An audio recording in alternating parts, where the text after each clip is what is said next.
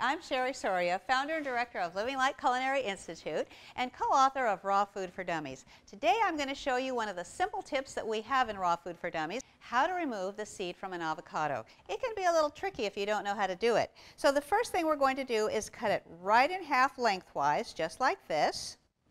Give it a little twist to separate it. And to remove the seed, all we have to do is gently place the knife inside, give it a twist, and pull the seed out.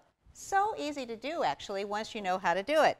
Then we'll just take our spoon, insert it in between the avocado and the skin to remove it just like that.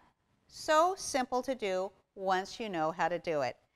There we have it. Now there's another way to remove the seed and that is to actually cut it in half just like we did before and then cut it in half crosswise once again. So we're actually cutting this into quarters now. Give it a twist, turn, give it another twist, and the seed just pops right out without any problem.